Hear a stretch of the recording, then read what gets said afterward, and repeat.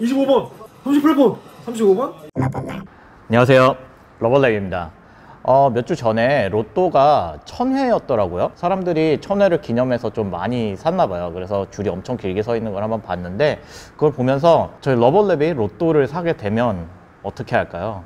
아두이노를 이용해서 로또 번호 선택기를 만들어서 한번 로또를 자 그래서 오늘은 그 랜덤에 대한 이야기를 좀 해볼게요. 자 아두이노에서 구현되는 랜덤은 실제로 정말 랜덤한 숫자. 알 수 없는 숫자가 나오는 게 사실 아니에요. 음, 아두이노에 굉장히 많은 숫자가 쭉 나열이 되어 있고 그 나열되어 있는 숫자를 하나씩 순서대로 뽑아서 우리한테 보여주는 건데 사실 그 숫자가 엄청나게 많이 있기 때문에 우리가 그거를 느끼지 못할 뿐이에요 코딩을 하면서 설명을 드려볼게요.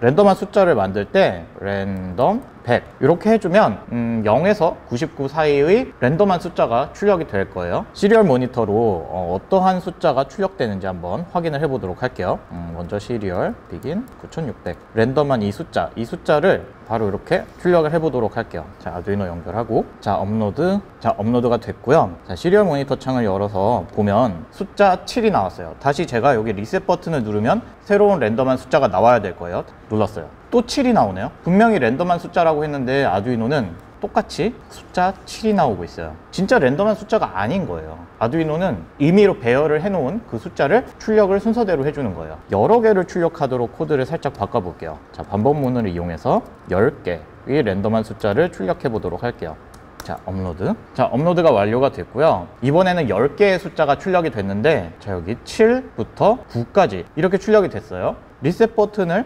눌러서 다시 한번 확인을 해보면 똑같은 숫자가 또 반복해서 나오게 되어 있어요. 랜덤하게 나열해서 기록하고 있는 그 숫자를 하나씩 하나씩 순서대로 꺼집어내서 여러분들한테 제공을 해주는 거예요. 진짜 정확한 난수 즉 랜덤한 숫자라고 이야기할 수가 없겠죠?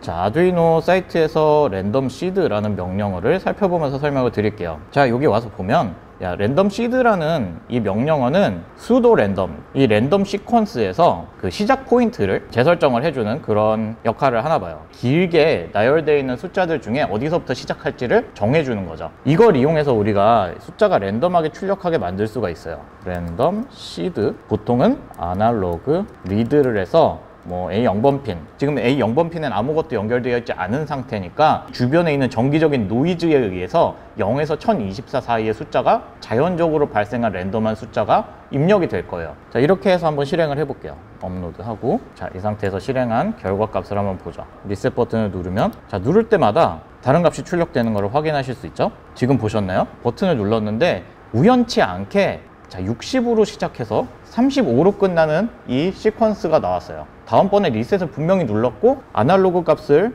A0번 핀에서 읽어서 했는데도 불구하고 똑같은 게 또 나왔어요. 아날로그 리드를 했을 때 여기서 들어오는 값이 우연치 않게 같은 값이 들어올 수도 있겠죠? 그래서 지금 이렇게 똑같은 값이 두 번 연속으로 들어오게 된 거예요.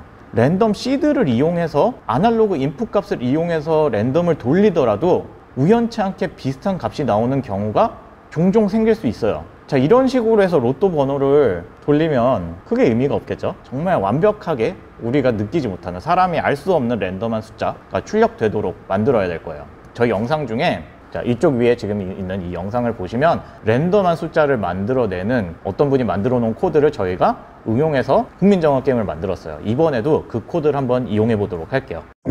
이 링크는 저희 밑에 설명에다가 첨부해 드리도록 할게요. 어, 그 중에 괜찮은 결과값이 나온 랜덤한 숫자를 만드는 방법을 공유를 해놨어요. 그래서 맨 밑에 보시면 두 가지의 코드가 있는데 analog read 핀을 이용해서 하는 이 첫 번째 코드를 이용해 보도록 할게요. 자 이 페이지를 열어서 이 코드를 그대로 긁어 볼게요. 복사해 오고 여기서 새 탭을 하나 만들고요. 뭐 랜덤이라고 만들어서 여기에다 붙여 넣어 볼게요. 우리가 여기서 필요한 거는 get true rotate random byte 이 함수를 실행하면 0에서 255 사이의 아날로그 핀에서 읽어온 값들을 이용한 랜덤한 값을 출력해주는 그런 함수예요. 자, 요걸 한번 이용해 보도록 하죠. 자, 랜덤 시드도 필요 없고, 자, 여기에다가, 자, 요 값을 넣어서 한번 다시 업로드하고 실행해 보도록 할게요. 네, 지금 에러가 났었는데 지금 이 변수를 요 아래에서 생성을 해줬는데 그래서 위로 옮겨줬어요. 자, 업로드가 완료가 됐고 랜덤한 값을 확인해 보도록 하죠. 리셋을 눌러보면 자, 여기 62부터 지금 출력이 됐어요. 자, 이런 식으로 뭔가 이 아날로그 값을 이용한 진짜 랜덤한 값이 지금 출력이 되고 있어요. 자, 이 값을 이용해서 한번 음, 로또 번호를 만들어 보도록 할게요. 자, 로또가 번호가 1에서 45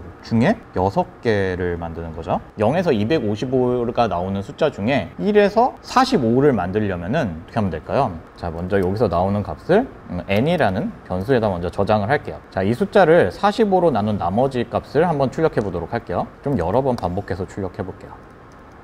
여기다 넣어서 한 번 리셋 버튼을 누를 때마다 랜덤한 숫자가 출력이 되고 있는데 0에서 44 사이에 랜덤한 숫자가 출력이 되고 있어요. 자, 그러면 랜덤한 숫자가 출력이 되고 있는 것 같지만 여기 문제점이 하나가 있어요. 숫자가 0에서 255 사이에 나오는 값을 45로 나눈 나머지를 구했어요. 자, 그거를 단순화시켜서 다섯 개의 숫자를 랜덤으로 출력해주는 기계가 있어요. 숫자가 다섯 가지가 나오죠. 0, 1, 2, 3, 4. 그 기계에서 나온 값 중에 나는 0, 1, 2 이렇게 세 가지만 필요해요. 3으로 나눈 나머지를 구한다. 라고 하면은 0이 나왔을 땐 당연히 0이겠죠? 1이 나왔을 땐 1, 2가 나왔을 땐 2, 3이 나왔을 때는 3으로 나눈 나머지니까 0이 되고요. 4일 때는 1이 되겠죠. 다섯 가지 경우 중에 0이 나올 확률은 5분의 2고 1이 나올 확률도 5분의 1이고 3이 나올 확률은 5분의 1이 돼요. 그쵸? 두 번 나왔고 두 번 나왔고 한 번 나왔으니까. 자, 그래서 나머지로 구해줬을 때는 어떤 숫자는 더 자주 나오고 어떤 숫자는 덜 자주 나오고 이렇게 되겠죠. 그 부분을 한번 해결해 보도록 할게요. 자, 그래서 모든 숫자가 나올 확률을 똑같이 해주기 위해서 랜덤하게 나온 숫자, 랜덤하게 지금 나온 숫자는 0에서 255라는 숫자예요. 이게 255 빼기 255 퍼센트 45. 자, 이렇게 해주면 되죠. 총 255라는 숫자가 나오는데 그 숫자에서 45로 나눈 나머지 그 값을 빼주면 플러스 1을 해줘야 되네요. 아, 복잡해. 뭔가 코드를 좀 더 깔끔하게 만들 방법이 있을 것 같은데. 음, 이럴 때는 n을 다시 복사해서 이렇게 넣어주고, 어, if가 아니라 while이어야 되겠어요. 여기서 n을 출력해서, 음, 만약에 그것보다 큰 숫자일 때만 다시 랜덤한 숫자를 만들었는지 한번 확인해 보도록 할게요. 업로드. 자, 리셋 한번 다시 눌러보고, 숫자가 정확하게 입력이 됐는지는 다시 한번 확인해 봐야겠어요. 자, 계산기에서 45 더하기 45 해서 계속 해보면 자 225보다 큰 값들만 여기 출력이 돼야 돼요 자 225가 나왔고 225보다 작은 숫자는 없는 것 맞죠? 자 225보다 작은 숫자는 지금 안 나오고 있으니까 지금 225가 넘어가면 지금 다시 랜덤을 돌려서 모든 숫자가 나올 확률을 똑같이 만들어 줬어요. 자 이 상태에서 n을 45로 나눈 값을 출력해 보면 자 이렇게 0에서 44까지 사이의 숫자만 출력이 되는 걸 확인하실 수 있을 거예요. 자 이제 랜덤하게 0에서 44까지의 숫자를 만들었으니까 여기다 1을 더해주면 1에서 45가 나오겠죠. 자 그러면 이거를 6개를 뽑아주면 돼요. 6번 반복을 하게 해주고 자, 로봇랩 로또 넘버 generator 이렇게 해서 업로드를 해서 보면 자, 이렇게 이제 6개의 0에서 44 사이의 숫자가 이렇게 출력이 되고 있어요. 자, 그런데 여기도 문제점이 있죠. 이렇게 똑같은 숫자가 나오는 경우가 생겨요. 자, 그럼 똑같은 숫자가 나오면 다시 뽑게 만들어 줘야 되겠네요. 이 부분을 한번 해결해 보도록 할게요. 만들어낸 숫자들을 저장해 놓고 다음에 만들어져서 낸- 랜덤으로 나오는 것을 기억하고 있으면 되겠죠. 그렇게 하기 위해서 변수를 array로 만들어 볼게요. 자, 아두이노에서 변수를 이렇게 array로 만드는 방법은 이렇게 몇 가지가 있는데 이렇게 변수 이름을 넣고 음, 로또 넘버 하고 여섯 개 이렇게 만들어 볼게요. 야, 여기 serial print 하는 이 부분에다가 로또 넘버 i는 n 이렇게 해주면 로또 넘버라는 정수형 array에 하나씩 하나씩 이 숫자가 저장이 될 거예요. 출력을 해볼게요. 반복문을 이용해서 serial print ln 하고 이걸 출력해주면 되겠죠. 그러면 이 변수의 array에 들어있는 값들을 serial 모니터로 우리가 확인할 수 있을 거예요. 자, 업로드 45로 나눈 나머지를 안 했으니까 여기 넣어주고요. 됐어. 이제 이렇게 랜덤한 거는 변수에다 저장하는 것까지 했어요. 근데 아직 동일한 숫자가 나오는 부분에 대해서는 해결을 못 했네요.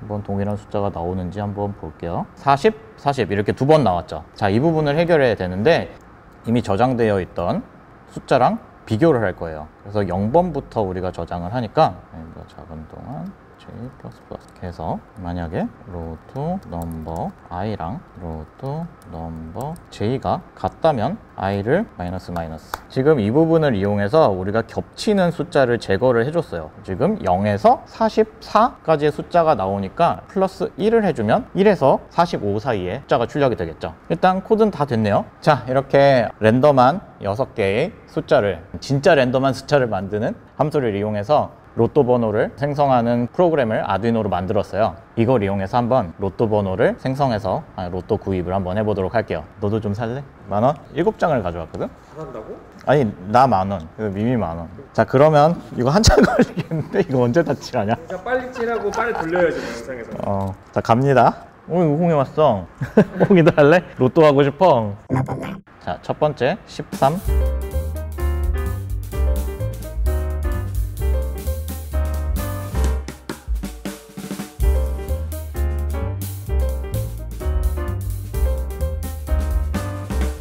너무 많이 하니까 사행성 조정하는 것 같은데 그게 아니라 여러 명이 하는 거예요 지금. 각자 만 원씩. 자 그래서 요거를 각자 좀 나눠 가져서 사러 가서 토요일 날 이번 주 토요일 날 확인하는 걸로 해보도록 할게요. 여기 열장 따로 할게요. 네 감사합니다. 네. 역사적인 날이에요. 25번! 38번! 아씨 35번? 이게 큰 숫자만 나와. 5천원 끝